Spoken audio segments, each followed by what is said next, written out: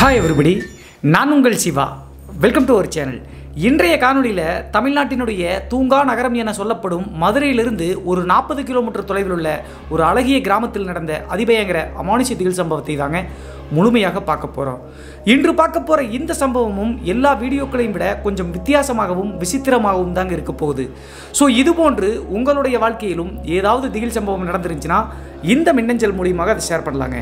ஒருவேளை மின்னஞ்சலில் டைப் பண்ணுறது கஷ்டமாக இருந்துச்சு அப்படின்னா நம்ம சேனலினோட இன்ஸ்டாகிராம் லிங்கை கீழே டிஸ்கிரிப்ஷனில் கொடுத்துருக்கேங்க. அதில் போய் ஃபாலோ பண்ணிவிட்டு வாய்ஸ் நோட்டாக கூட ஷேர் பண்ணலாங்க. இது வரைக்கும் நம்ம சேனலை நீங்கள் சப்ஸ்கிரைப் பண்ணாமல் பார்த்துட்டு இருந்தாலும் சரி புதிய பார்வையாளராக இருந்தாலும் சரி வீடியோக்கு கீழே இருக்கக்கூடிய சப்ஸ்கிரைப் பட்டன் மற்றும் பெல் ஐக்கான் இரண்டையுமே கிளிக் பண்ணிடுங்க நம்ம ஷோக்குள்ளே போகலாம்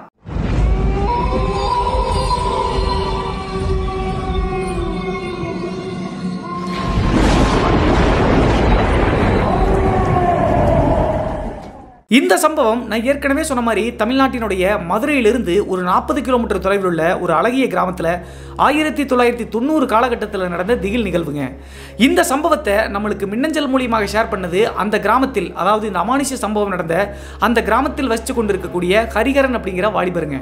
இந்த சம்பவத்தில் ஒரு ஒட்டுமொத்த கிராமமும் முனி அப்படின்னு சொல்லக்கூடிய முனியாண்டி அப்படிங்கிற அந்த கடவுளுக்கு பயந்து போய் தற்போது வரைக்கும் மரியாதையாக நடந்துட்டு இருக்கக்கூடிய ஒரு அமானுஷிய சம்பவம் தாங்க இது. அப்படி என்ன நடந்துச்சு அப்படின்னு சொல்லி பார்த்தா வெள்ளையர்கள் ஆட்சி காலத்திலிருந்து தொண்ணூறு காலகட்டம் வரைக்குமே அந்த கிராமத்தில் நிறைய துர்மரணங்கள் நடந்துக்கிட்டே இருக்குங்க.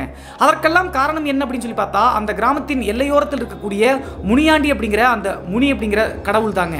அந்த முனியினுடைய சேட்டைகள் கொஞ்சம் நஞ்சம் கிடையாது அப்படின்னு சொல்லி சொல்லுவாங்க முனிகள் அப்படின்னாவே நம்ம நிறைய பேர்த்துக்கு தெரியுங்க. இரண்டு வகைகள் இருக்கும். ஒரு முனி அப்படிங்கிறது இந்த முனியாண்டி அப்படிங்கிற கடவுளை பற்றி இருக்குங்க. அப்படி கடவுளாக இருந்தாலும் கூட அதனுடைய ஆக்ரோஷம் மற்றும் அதற்கு ஏதாவது தீங்கு அல்லது தெரியாமல் ஏதாவது ஒரு விஷயத்தை செஞ்சுட்டோம் அப்படின்னா மனிதனுக்கு கண்டிப்பாக பலி நடந்தே தீருங்க பலியை கொடுத்துரும். அப்படி இருக்கக்கூடிய அந்த கிராமத்தினுடைய பகுதியில் இருக்கக்கூடிய அந்த முனிக்கோவில் சைடில் யாராவது நடந்து போனாங்க அப்படின்னா காலில் போட்டிருக்கக்கூடிய செருப்பை கையில் எடுத்துட்டாங்க நடந்து போகணும். அது மட்டும் இல்லாமல் வேஷ்டி யாராவது தூக்கி கட்டியிருந்தாங்க அப்படின்னா அதை இறக்கி விட்டுட்டு மரியாதையோடு குனிஞ்சு தாங்க நடந்து போகணும். இந்த நடைமுறை அப்போது மட்டும் இல்லைங்க இப்போதும் அந்த கிராம மக்கள் ஃபாலோ பண்ணிட்டு தாங்க இருக்காங்க. அதோடு சேர்த்து பெண்கள் வந்து பார்த்தீங்கன்னா இந்த மாதவிடாய் காலகட்டத்தில் அந்த ஏரியாவுக்கு போகவே கூடாது அப்படின்னு சொல்லிட்டு சொல்லப்படுங்க. அதையும் மீறி போனோம் அப்படின்னா கண்டிப்பாக உயிர் பலிதான் அப்படிங்கிறது வழக்கமாக இந்த கிராம மக்கள் சொல்லிட்டு இருக்காங்க இதில் இன்னும் ஒரு சுவாரஸ்யம் மற்றும் ஆச்சரியமான விஷயம் என்ன அப்படின்னு சொல்லி பார்த்தா அந்த கிராமத்தில் எவ்வளவு வசதியானவர்களாக இருந்தாலும் கூட மொட்டை மாடி அதாவது டார்ச் வீடு கட்டி மொட்டை மாடியாக கட்டவே முடியாதுங்க. அப்படி அதை மீறி யாராவது கட்டினாங்க அப்படின்னா கண்டிப்பாக அந்த குடும்பத்தில் துர்மரணங்கள் மற்றும் அந்த வீட்டில் இருக்கக்கூடிய எல்லாருமே அழிஞ்சு போயிடுவாங்க அப்படின்னு சொல்லிட்டு நம்புறாங்க இந்த காரணத்தினால ஒவ்வொரு வருடமும் எக்காரணத்தை கொண்டும் அந்த கிராம மக்கள் வந்து பார்த்தீங்கன்னா எல்லாருமே சந்தா போட்டு அந்த முனி கோயிலுக்கு வந்து பார்த்தீங்கன்னா நிறைய கிடாக்களை வெட்டி விருந்து அதாவது படையல் மாதிரி படைச்சு வந்து கும்பிடுவது வழக்கங்க. அதையும் மீறி அந்த முனி அப்படிங்கிற கடவுளை யாராவது சீண்டாங்க அப்படின்னா நான் சொல்லக்கூடிய இந்த துர்மரணங்கள் நடந்தே தீருங்க இந்த சூழலில் தான் ஆயிரத்தி தொள்ளாயிரத்தி தொண்ணூறாம் காலகட்டத்தில் அந்த கிராம மக்களை உச்சக்கட்ட லெவலுக்கு கொண்டு போகக்கூடிய ஒரு நிகழ்வு ஒன்று நடக்குதுங்க. என்ன ஆச்சு அப்படின்னு சொல்லி பார்த்தா அந்த கிராமத்தில் தொண்ணூறு காலகட்டத்தில் இருளாண்டி அப்படின்னு சொல்லக்கூடிய ஒரு நாற்பத்தைந்து வயது நபர் இருந்திருக்காருங்க. அப்போது இந்த கிராமத்திற்கும் மதுரையினுடைய வைகை ஆத்து கரையோரத்திற்கும் ஒரு இரண்டு கிலோமீட்டர் டிஸ்டன்ஸ் இருக்குங்க. அந்த வைகை ஆத்து கரையோரத்தில் போய் ஆற்று மணலை வந்து பார்த்தீங்கன்னா எடுத்துகிட்டு வருவது வழக்கங்க. அந்த மாதிரி இருக்கும்போது பெரும்பாலும் இப்போது எப்படி காவல்துறை கட்டுப்பாடோடு இருக்கோ அப்போதும் வந்து பகல் நேரத்துல எல்லாம் ஆற்று மணலை எடுக்க முடியாதுங்க. அந்த காரணத்தினால கிராம மக்கள் இரவு நேரங்களில் யாருக்கும் தெரியாமல் போய் லாரியில் மணல் எடுத்துட்டு வருவதை வழக்கமாகவே வச்சுட்டு இருந்திருக்காங்க. அந்த சூழலில் ஒரு நாள் அந்த கிராமத்தில் இருக்கக்கூடிய எட்டு நபர்கள் சேர்ந்து லாரியோடு அந்த ஆற்று மணலில் வந்து பார்த்தீங்கன்னா மணல் எல்லாம் அப்படின்னு சொல்லிட்டு கிளம்புறாங்க அவங்க கிளம்பக்கூடிய நேரம் மாலை ஒரு ஆறரை மணி தோராயமாக இருக்குங்க. இரவு பன்னெண்டு மணி ஒரு மணி வரைக்குமே அந்த ஆற்று மணலை எடுத்துக்கிட்டு நிறைய லாரிகளில் நிரப்பி விட்டுட்டு அப்புறம் திரும்ப கிராமத்துக்கு வருவாங்க. இதில் ஒரு முக்கியமான விஷயம் என்ன அப்படின்னு சொல்லி பார்த்தா அந்த லாரி போகக்கூடிய தடமும் சரி அந்த ஆற்றுக்கு போகக்கூடிய தடமும் சரி இந்த முனியாண்டி அப்படிங்கிற அந்த கோவில் அந்த சாமியினுடைய வழித்தடம் நோக்கி தாங்க இந்த கிராம மக்கள் போகணும். அந்த சூழலில் அன்றைய நாள் அந்த கிராமத்தில் கூடிய எட்டு பேரோடு சேர்த்து ஆற்றில் போய் மணல் அள்ளிட்டு இருக்காங்க பெரும்பாலும் இந்த இரவு நேரத்தில் மணல் அள்ளும் போது ஒரு எட்டு மணி ஒன்பது மணி தோராயமாகவே பசிக்க ஆரம்பிச்சிருங்க. எல்லாருமே திரும்ப கிராமத்துக்கு வர முடியாது அப்படிங்கிற காரணத்தினால என்ன பண்ணுவாங்க அப்படின்னா அந்த ஆற்று மணல் அள்ளக்கூடிய ஒவ்வொரு நாளும் ஒவ்வொரு நபர் வந்து பார்த்தீங்கன்னா கிராமத்துக்கு நடந்தே போய் எட்டு வீட்லேயும் தூக்கு போசியில் சாப்பாடு போட்டு திரும்ப ஆற்றுக்கு கொண்டு வருவது வழக்கங்க. ஏன்னா இரவு ஒரு மணி ரெண்டு மணி ஆயிரும் இல்லையா? பசிக்கும் இல்லையா? அதனால். ஸோ அன்றைய நாள் என்ன பண்ணுறாங்கன்னா நான் சொன்ன இந்த நாற்பத்தைந்து வயது இருக்கக்கூடிய இருளாண்டி அப்படிங்கிற இந்த நபர் தான் வந்து பார்த்தீங்கன்னா கிராமத்துக்கு போய் சாப்பாடை வாங்கிட்டு வருவதற்காக கிளம்புறாருங்க. அப்போது இவர் வந்து ஒரு பெரிய டார்ச் லைட் எடுத்துகிட்டு அந்த முனியாண்டி கோயில் வழியாக நடந்து போயிட்டே இருக்கும்போது காலில் இருக்கக்கூடிய செருப்பெல்லாம் எடுத்து கையில் வச்சுக்கிட்டு அப்படியே நடந்து கிராமத்துக்கு போய் சேர்றாருங்க. கிராமத்துக்கு போயிட்டு அங்கே எல்லா வீட்லேயும் ஒவ்வொரு வீட்லேயும் போய் சாப்பாடை வாங்கிட்டு தூக்கு பூசி எடுத்துட்டு திரும்ப மறுபடியும் இந்த ஆற்றை நோக்கி நடந்து வந்துக்கிட்டே இருக்காருங்க. நம்ம எல்லாத்துக்குமே ஒரு கேள்வி வரும். ஏன் சைக்கிள் அல்லது பைக் யூஸ் பண்ணிக்கலாமா அப்படின்னா இந்த எண்பத்தஞ்சு தொண்ணூறு காலகட்டத்திலலாம் பெரும்பாலும் சைக்கிள் வாங்குறதே பெரிய விஷயங்க.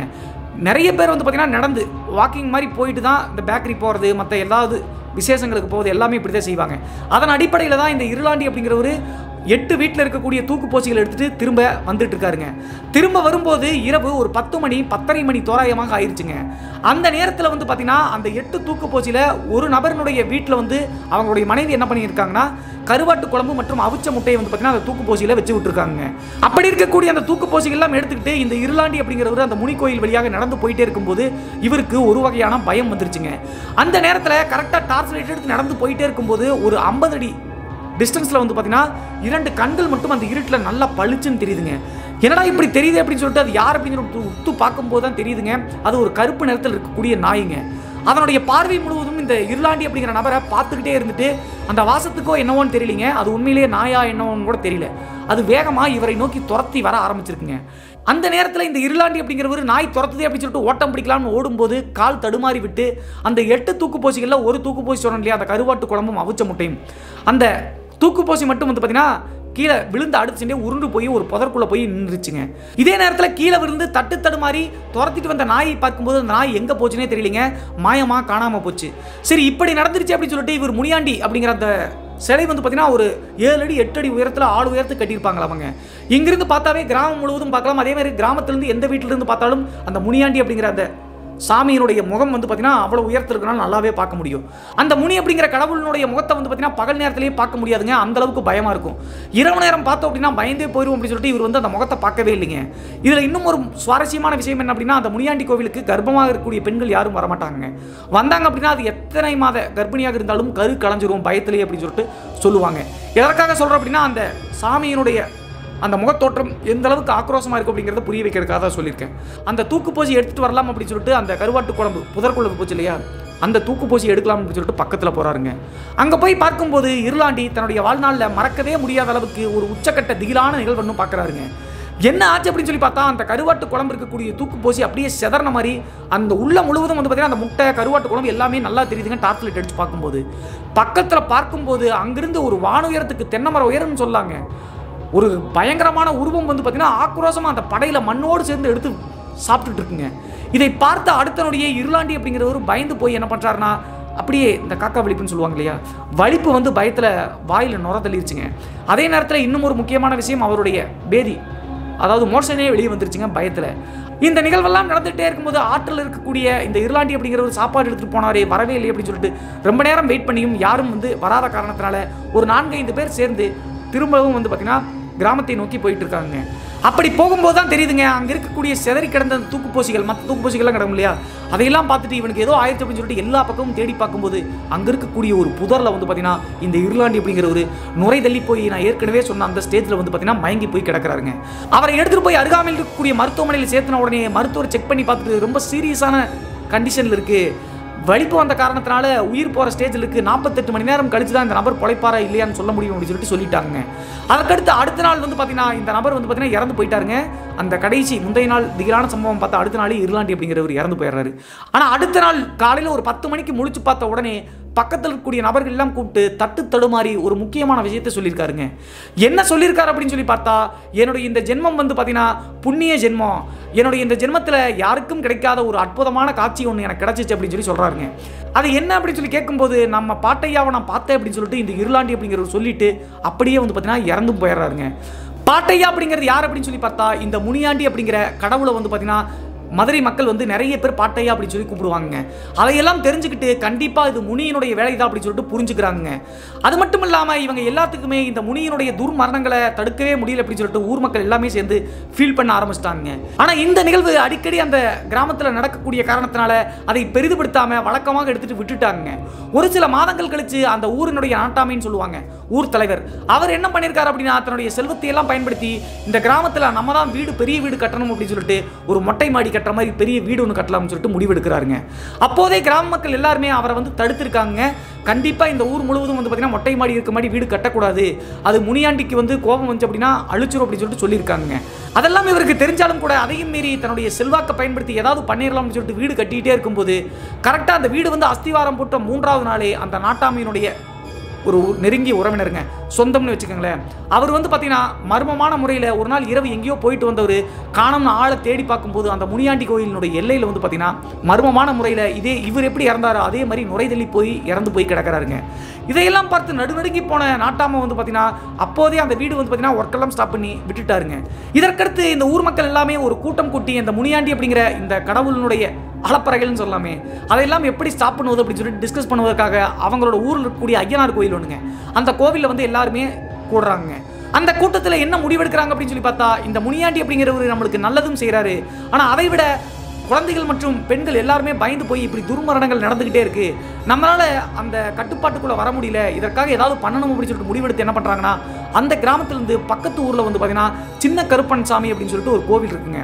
அந்த கோவிலை பற்றி சொல்லணும் அப்படின்னா அந்த சின்ன கருப்பண சாமி அருள் வந்து சொன்ன வார்த்தை வந்து எதுவுமே பழிக்காம போனது கிடையாதுங்க. அது மட்டும் இல்லாம இந்த சின்ன கருப்பணசாமி எந்த கடவுள்களுக்கும் கட்டுப்படாத ஒரு தெய்வங்க காவல் தெய்வம். அப்படி இருக்கக்கூடிய அந்த சின்ன கருப்பணசாமினால தான் இந்த முனியாண்டி அப்படிங்கிற கடவுளை வந்து கட்டுப்படுத்த முடியும் அப்படின்னு சொல்லிட்டு முடிவெடுத்து என்ன பண்ணுறாங்கன்னா அந்த கோவிலுக்கு போகலாம்னு சொல்லிட்டு கிளம்புறாங்க. அந்த கோவிலுக்கு போயிட்டு அங்கே இருக்கக்கூடிய பூசாரியை உடுக்கை அடித்து அருள் பாலிச்சு அந்த சின்ன கருப்பணசாமியை இறங்க வைக்கிறாங்க. இந்த சின்ன கருப்பணசாமி அப்படிங்கிற பேர் நிறைய பேருக்கு தெரியாமல் இருக்குங்க. இதற்கு வந்து சங்கிலி கருப்பன் அப்படின்னு கூட சொல்லுவாங்க. இந்த சங்கிலி கருப்பன் அப்படிங்கிறது கருப்பணசாமிலேயே மிகவும் ஆற்றல் மிக்க ஒரு நபர். எதற்கும் கட்டுப்படாத ஒரு தெய்வம் அப்படின்னு வச்சுக்கோங்களேன். அந்த மாதிரி இருக்கக்கூடிய அந்த கருப்பணசாமி உடம்புல இறங்கின உடனே அந்த ஊர் மக்கள் முன்னிலையில் உங்களுக்கு என்னடா வேணும் அப்படின்னு சொல்லி கேட்குறாங்க நடந்த விஷயங்கள் எல்லாத்தையுமே சொல்லி அந்த முனியாண்டி அப்படிங்கிற எங்களுடைய பாட்டையா வந்து பார்த்தீங்கன்னா எங்களுக்கு நல்லது செய்கிறத விட அதிகமாக பயப்படுத்துறதான் செய்கிறாரு அதை கட்டுப்படுத்தணும் அப்படின்னு சொல்லி சொன்ன உடனே அந்த சின்ன கருப்பணசாமி இன்னொரு முக்கியமான விஷயத்தை சொல்லியிருக்காருங்க. என்ன சொல்லியிருக்காருன்னா உங்கள் ஊரில் இருக்கக்கூடிய ஐயனாரை வந்து முதல்ல கும்பாபிஷேகம் பண்ணி புதுப்பிக்க ஆரம்பிங்க. அந்த ஐயனார் கோவிலில் வந்து பார்த்தீங்கன்னா இரண்டு தலைமுறைகள் ஆச்சாமங்க கும்பாபிஷேகம் பண்ணி.